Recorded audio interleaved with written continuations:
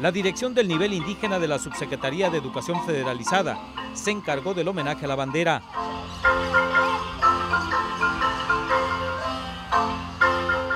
Como si estuvieran en su comunidad.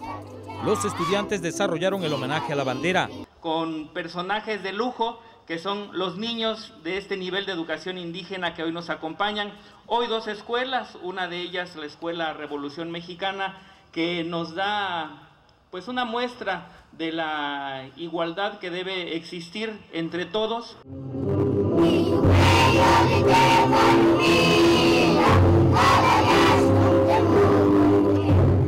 Niñas y niños indígenas del municipio de Matenango del Valle y de San Juan Cancún integraron la escolta y entonaron los himnos nacional mexicano y del estado de Chiapas.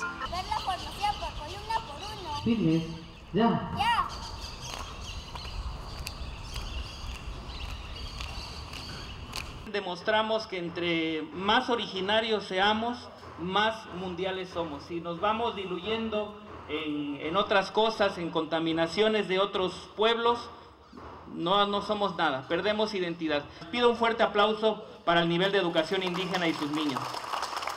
Los directores y maestros bilingües recibieron reconocimientos y niñas y niños indígenas aplausos de quienes presenciaron este homenaje poco usual al lábaro patrio. Alberto Salinas en las imágenes, José Ángel Gómez Sánchez, 10 Noticias.